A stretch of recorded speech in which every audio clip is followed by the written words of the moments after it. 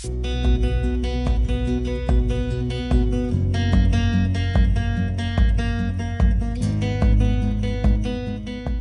design capacity of wastewater treatment plants is usually based on the connected industries and population equivalent.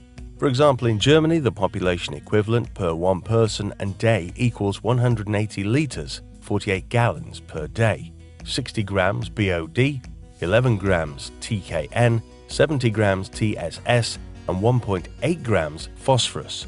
Then, depending on the expected population and industry growth for the next 30 to 50 years and the maximum monthly flow, the total physical capacity of wastewater treatment plants is determined. If the wastewater treatment plant is connected to an older sewer system, stormwater is in the same pipe as domestic, commercial, and industrial wastewater. As long as the combined water stays underneath the maximum monthly flow, the wastewater treatment plant has sufficient capacity to treat all incoming water.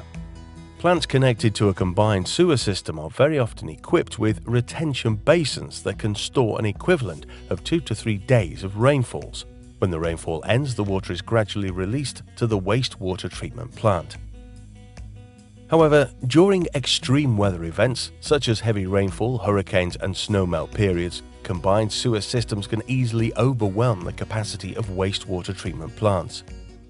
When also the capacity limit of all retention basins is reached, a relief structure in the combined sewer system discharges untreated water to an adjacent water body. Such events can cause negative environmental consequences, including beach closures, contaminated shellfish, unsafe for consumption, and contamination of drinking water sources, rendering them temporarily unsafe for drinking and requiring boiling before uses such as bathing or washing dishes.